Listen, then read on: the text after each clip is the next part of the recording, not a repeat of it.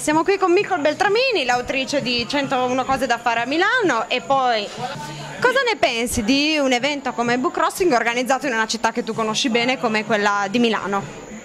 Ma io ho partecipato effettivamente a diversi book crossing, trovo che sono sempre delle iniziative molto carine. Um, in particolare sì, mi è capitato anche eh, di trovare magari dei libri strani, speciali, tra cose scartate da altre persone perché ovviamente hanno, abbiamo tutti dei gusti diversissimi. Eh, carina anche questa, mi è piaciuta ehm, proprio come è stata organizzata di fronte allo statale, bellina, bellina anche come idea. Um, sì, Mm, vi apprezzo molto, è stata molto carina e voi siete tutti carinissimi effettivamente. Okay, grazie. Che libro hai portato da scambiare, se c'è dietro magari qualche significato particolare e che libro hai preso? Non ho ancora preso un libro, avevo portato da scambiare Tom Robbins Natura morta con picchio, che è effettivamente uno dei miei libri eh, preferiti di tutti i tempi, proprio una delle mie pietre miliari, l'ho letto quando avevo 16-17 anni e da allora è rimasto uno dei favoriti storici, infatti ne ho un'edizione in inglese e due in italiano, è il motivo per cui l'ho portato. Adesso vado a vedere cosa prendere. Ok. Ehm, per i nostri lettori, un consiglio di lettura per quest'estate?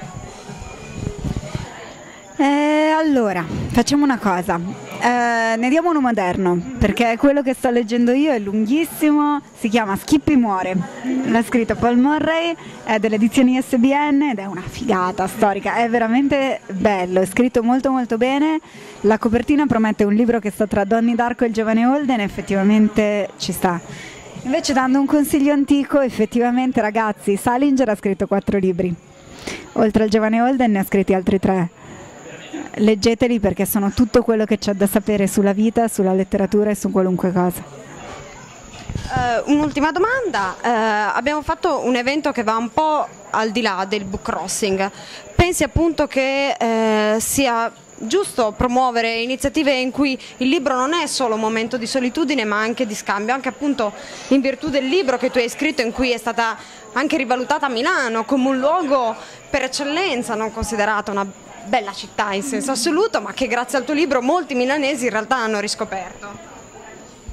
Credo sia stata la cosa più bella dell'aver scritto questo libro, proprio le reazioni delle persone.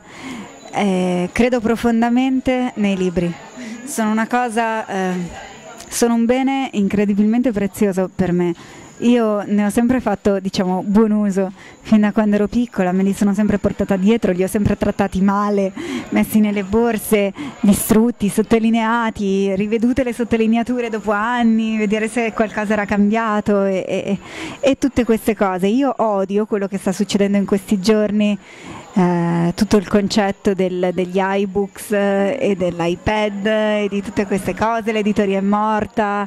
No, l'editoria è morta non esiste, i libri devono continuare ad andare avanti, sono una cosa che non può essere sostituita e sono assolutamente convinta che le persone che amano i libri eh, non li sostituiranno mai con eh, altro, perché non è possibile sostituire una cosa così, una cosa che ti dà modo la parola scritta è, oltre che il fuorilegge definitivo, perché ti permette di superare la censura come le immagini non te lo permetteranno mai, eh, riescono a vedere le cose, riescono a vedere i film, riescono a vedere le foto, riescono a vedere le immagini, riescono a censurare quello, ma la parola scritta non riescono a censurarla. E io trovo che sia importante qualunque iniziativa che riesce a portare avanti l'editoria, i libri e la parola scritta in genere. Quindi è, è un po' il motivo per cui io continuo. È, è un mestiere che porta anche tanta amarezza che io non volevo fare. Però effettivamente la risposta della gente è incredibile, la risposta di Milano è ancora più incredibile, è una città splendida che da questo punto di vista reagisce come reagisce bene. E a me piace proprio tanto e spero di poter continuare a scriverne. Va bene, grazie mille allora, grazie Nicole, ciao!